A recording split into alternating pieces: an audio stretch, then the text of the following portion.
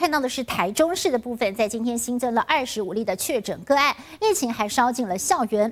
中山医学大学传出了两名护理系的学生染疫，一名大四的学生，那么一度甚至传出说他有去过阿妹的演唱会，不过后来证实呢，这个是误传哦，并不是真的消息。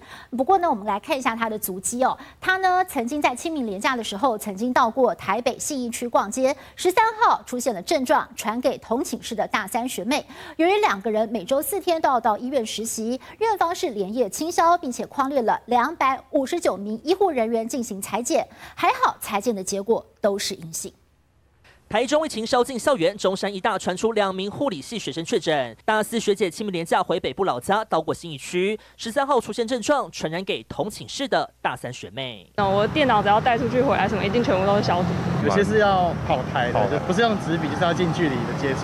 多喷酒精吧，口罩戴好，不然人怎么办？由于两人每周三到四天都到医院实习，院方接获通知，连夜清搜，紧急扣回两百五十九名医护人员进行裁剪。还好筛检结果都是阴性，但必须执行自主健康管理十天。学校方面，护理系大三、大四学生不得到校，通通改采线上教学。两位确诊的同学呢，都是目前在行政端的行政实习，也就是他们。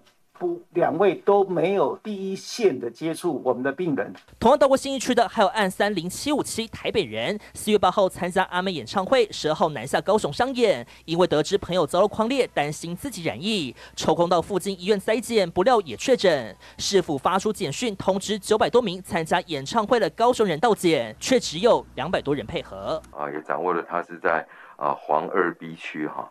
那所以在四月八号这边，其实在高雄市这里已经发现了啊，至少有五例的确诊个案。本土疫情持续升温，多名确诊者都曾到过阿妹演唱会，不止高雄，台北也新增一例。台北市府狂发三点九万封细胞简讯，目前累计已有十六人染疫，三百四十人被隔离。阿妹十二场演唱会，十五、十六号还有最后两场，民众听歌狂嗨，务必绷紧神经，落实防疫准备。记者总部纵导。